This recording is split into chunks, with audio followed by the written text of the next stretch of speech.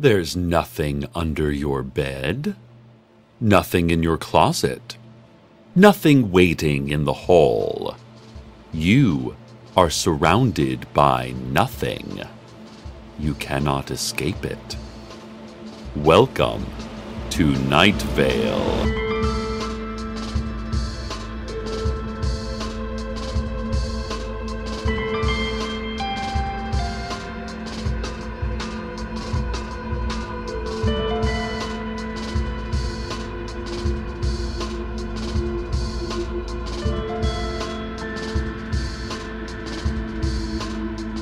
Have received several urgent Facebook messages and Twitter DMs from a vague yet menacing government agency asking me to deliver the following message Briny Depths.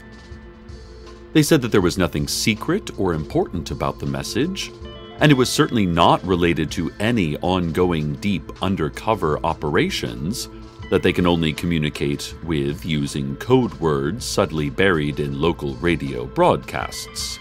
It wasn't anything crazy like that. They just think it would be cool to hear me say, briny depths. Do your deepest, smoothest voice, they said. Really sell it. Really give it your all. It would make us so happy. Please, it's our birthday. Oh, did we not mention it's totally our birthday? All right, in your best voice, say it. Briny Depths. Well, there you go, vague yet menacing government agency. Happy birthday! The faceless old woman who secretly lives in your home, and Hiram McDaniels, who is literally a five headed dragon, both former candidates for the mayoral role now filled by Dana Cardinal, were seen muttering together in a booth at the Moonlight All Night Diner. Or Hiram was seen. No one has ever actually seen the faceless old woman, but we all know that she is there. When reached for comment by a nosy person sitting in the booth next to them, Hiram explained that they were just chatting and were not involved in any sort of plans or schemes at all. He then held a conversation with himself about this matter, each head providing a different viewpoint in five different voices, the gist of which was that no, they were not planning anything. Definitely not. The faceless old woman scratched with what seemed to be a long, jagged fingernail into the sole of my shoe this morning. That's ludicrous, she suggested, with a flickering shadow in the corner of my eye as I walked to work. We would never, she whispered from behind me just now. Moving on. Another installment of what I imagine is our listeners' favorite segment Cooking Stuff with Earl Harlan. As the name implies, we have my childhood friend and current sous chef at Night Vale's hottest restaurant, Tourniquet, with us here in the studio. Earl? That's me, yes. Well, Earl, just a few months ago, you showed us how to cook tiramisu, and that was delightful. Oh, please don't cook that recipe. It is extraordinarily poisonous. oh, Earl, you're very funny. It will kill you, Cecil. It is actually poisonous. Don't cook that. So, tell our listeners, and me, of course, what you've been up to since we last spoke. Well, mostly, um, I've been working, mostly living. I've been spending time with my son. Trying to remember when I had a son. I've been trying to understand the flow of my life and how I don't remember going from being 19 to the middle aged adult I am now. I was 19 for so long. Well, sure. That sounds like fun. I'll tell you, Lately, I've been getting into crosswords. Just can't stop doing them. Doesn't even feel like it's me doing them, like it's someone else compelling me to do them. Sometimes I pick up a crossword I've never seen before, only to find it's been completely filled in with my own handwriting. well, I'm glad we've both been up to such fun things. Cecil, think. What year were you born? So, what are we cooking up today, Earl? Oh, okay. well, today we are making pulled pork. That sounds yummy. It is. And pulled pork could not be simpler to make. To start off with, you will need to kill a pig. You will need to find a living pig and kill that pig. You will probably need to hold down the pig. The pig will struggle. There will be blood and pain. Some of that pain will be physical. The pig will want to live, but you will need to make it die. That pig will need to die. Sure. Then you will need to dismember the pig. The pig will be a whole being, but you will not be able to eat it like that. So you will need to take it apart. There will be knives and hacking. The skin will have to go. Peel back that skin and take the muscles and subcutaneous fat, which is the part you will consume. Leave the bones and skin behind to rot. Mmm. Then you slow cook it with some vinegar, some sugar, and some chili. Put it on a bun, and there you go, pulled pork. Oh, I just can't wait to try that. It seems so easy. I'll just use one of the pigs I have at home. I'm sorry if I seem down at all, Cecil. I've been going through a lot. Oh, well, I understand. This has been a difficult time for me, too. Carlos is away, and we talk regularly, but it's not the same as the physical presence of someone you love, you know? I know. I know. But that's what we do when we have someone special enough to merit special effort. I'm proud of you for working through this. And I'm proud of you for dealing with how weird time is. Oh, and for raising a son. Somehow. Uh, what is your son's name? I, uh, I wish I knew. Well, it's been great catching up. Uh, we'll see you again soon, Earl.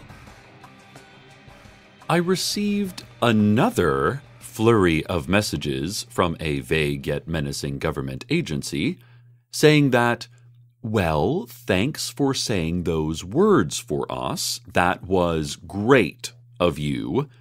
But it looks like maybe it didn't work. What didn't work? They rhetorically asked. Not important, they replied to themselves. As we said, that was certainly not a code word for an undercover agent who apparently wasn't listening to the radio when they were supposed to be, which is, by the way, their only job and their duty and their life's mission to be listening to instructions from headquarters, so no biggie.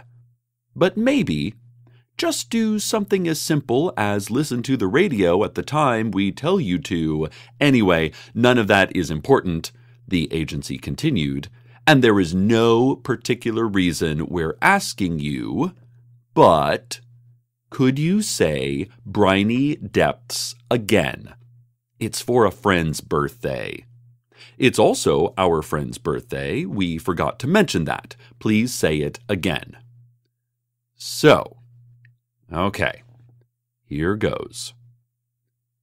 Briny Depths. Happy birthday to your friend. I hope you enjoyed that, but I really can't keep interrupting my broadcast with this stuff. Little League coach Betty Lucero is reporting that there are strange goings on near the haunted baseball diamond her team uses for practices and league games. No, no, no, no, I know it's haunted, she said. I get that. You don't have to explain that to me. I'm saying that there is other weird stuff going on beside the usual ghosts. She went on to describe anguished howls coming from a neighborhood nearby, and a red glow at night that made her skin feel loose and itchy when she looked directly at it. She also said that the baseball diamond has started to smell of rotten eggs, which is a detriment to her team's performance. As we spoke, an apparition of a gray skinned young woman in a tattered dress appeared, hovering on the baseline between second and third. I may have yelped a little, maybe scrambled backwards a bit, but Coach Lucero laughed and said, Oh, that's just Lucia, our third base coach. She died in 1843. Say hi, Lucia. The young woman flickered out of view, then reappeared suddenly inches from my face, her pupilless eyes staring directly into mine. I responded in a professional and calm manner, and Coach Lucero laughed for unrelated reasons, not anything to do with how I may have reacted, and said, That's our Lucia. She then went on to say that she had a bad feeling about the weird goings on near the baseball field. And she probably said some other things, but I was running away, so I didn't hear her super well. Oh, listeners, this is exciting. I received mail today. I didn't think mail was still being delivered. Not after what happened at the post office, but here it is an envelope addressed to one Cecil Palmer in neat handwriting with the address of the station right underneath. If you want to send us any mail, since apparently that is a thing which exists and is working now, our address is.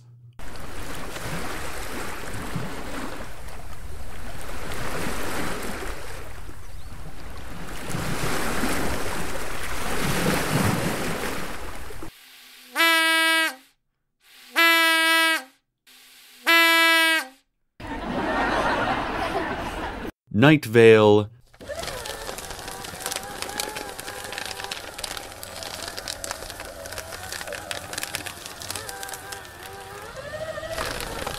please do send stuff in. It's always nice to hear from fans. But back to this envelope. Maybe this is silly, but I waited to open it until I was on the air. It seemed more fun if we could find out together what was inside. I'm um I'm opening it now. And here we go. It's oh. Huh. It's a greeting card. It says, Thanks so much on the front, and it has a picture of a cat playing with a ball of yarn. Well, that's just the cutest.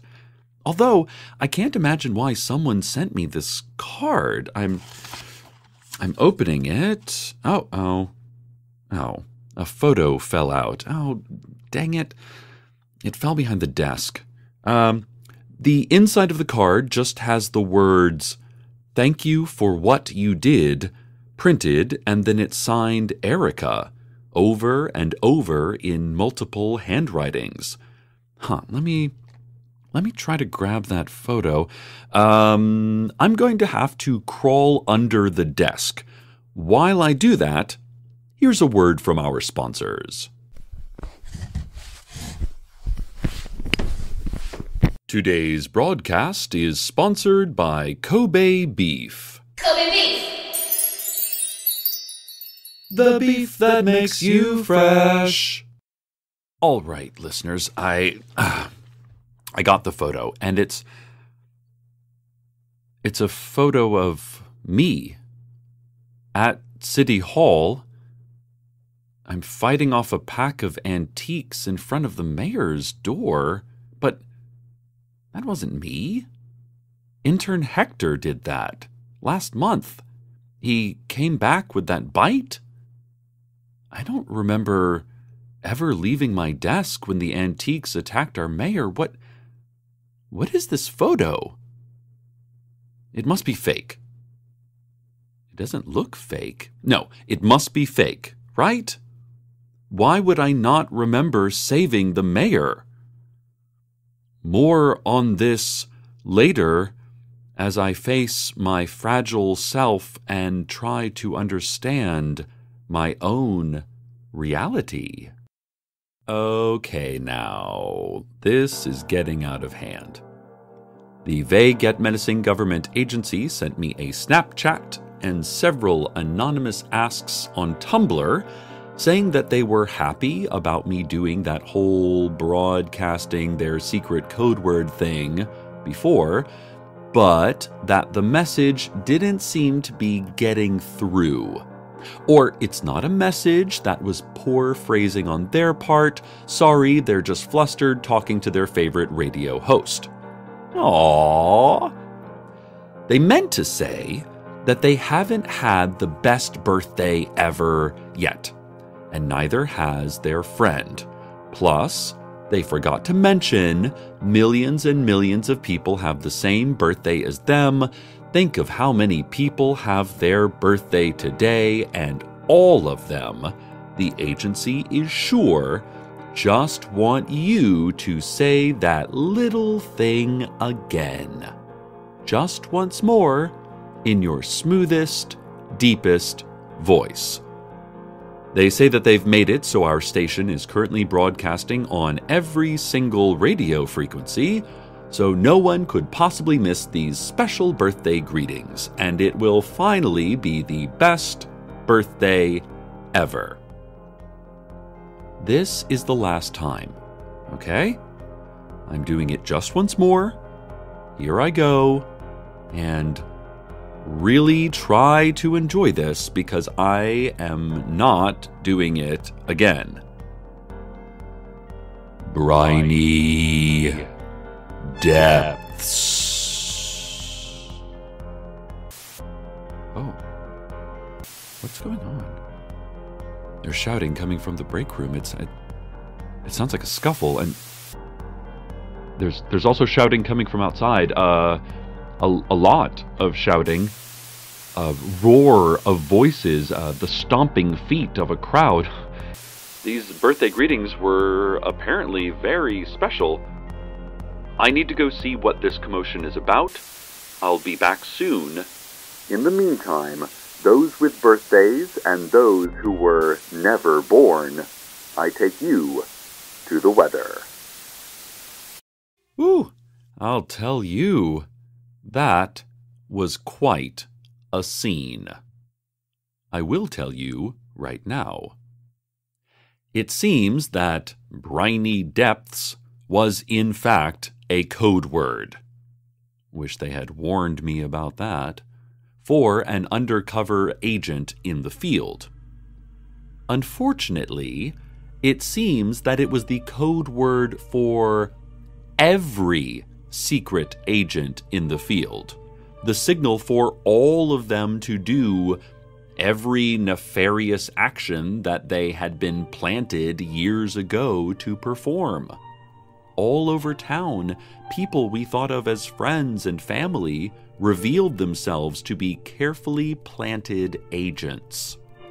Adam Bear, weekday shift manager at the Ralphs, grabbed the discount soup display and carried it to an unmarked van that had been sitting in the parking lot as long as anyone could remember, and then drove wildly away.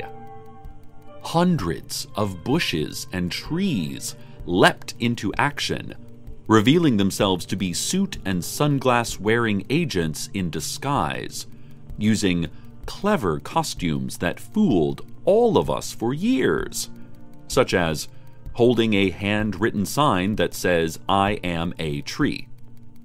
Larry Leroy, out on the edge of town, lit his refrigerator on fire. But he said that wasn't because of any secret agent stuff, he just wanted to do that. Someone had suggested it to him once, although he could not remember who. In fact, it seems that every single person in Night Vale was actually a secret agent waiting to be activated. We had all been implanted with the exact same code phrase, which is the kind of sloppy organization that is just what our government is coming to. Or whatever. And such. you know, look, honestly, my heart isn't in this reporting. Blah, blah, everyone we've ever known is secretly an agent. But here I am, listeners, secretly a hero. Secret even from myself. It was not Hector who saved Dana, but me. Me acting without memory or agency. What. What is happening to me? How do I not remember something so huge? I. I need to talk to Carlos. Perhaps science can help me. Science so rarely applies to the real world, but once in a while it provides a nice metaphor or turn of phrase that makes you think about real things differently. I'm I'm hoping Carlos can do that for me. Now that everyone has been activated as a secret agent and did the one thing they were secretly supposed to do for years, everyone has just gone right back to doing what they had been doing before. Everything is back to normal, except that we all know we are all secretly undercover planted agents here to spy on each other, and since we all know it, we are no longer secret agents, we are just ourselves, secretly. Listen, I know it's confusing, but I didn't invent logic. Our extraterrestrial ancestors did. Stay tuned next for all the air being sucked out of the room you're in. We're sorry, we're so sorry, but this is the only way. Good night. Night Vale. Good night.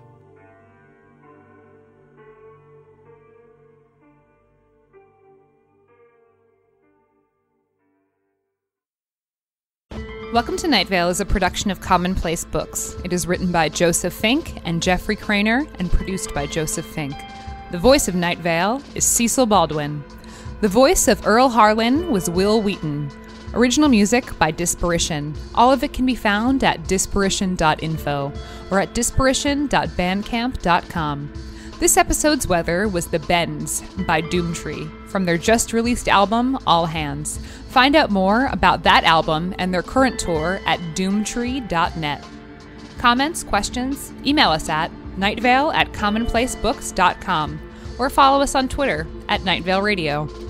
Check out welcometonightvale.com for more information on this show, as well as all sorts of cool Nightvale stuff you can own. And while you're there, consider clicking the donate link. That'd be cool of you. Today's proverb I let my haters be my motivators. Mostly they tell me I suck, and then I get sad. This was a terrible idea.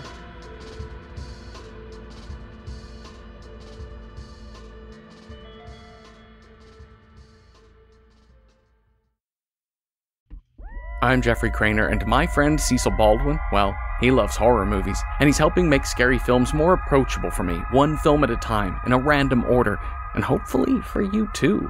If you love horror, you can watch along with us each week, and if you're a bit squeamish, don't worry, we'll tell you what happens. Our show is called Random Number Generator Horror Podcast Number 9. and it is available where the podcasts are.